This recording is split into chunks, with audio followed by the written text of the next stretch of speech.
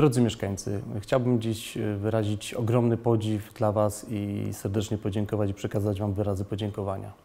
Kiedy kilkanaście dni temu postanowiliśmy i wymyśliliśmy taką akcję zebrania środków na sprzęt medyczny, a dokładnie na respirator Monal T160 dla, i postanowiliśmy go przekazać krakowskiemu specjalistycznemu szpitalowi imienia Jana Pawła II na oddział anestezjologii intensywnej terapii. Nie spodziewaliśmy się, że tak szybko i sprawnie uda nam się to wszystko przeprowadzić. Oczywiście mieliśmy nadzieję, że podobnie jak w wielu organizowanych wcześniej akcjach społecznych i charytatywnych, y, pokażecie swoje otwarte serca i przyłączycie się do naszego apelu, ale nie spodziewaliśmy się, że tak szybko wszystko się uda zorganizować.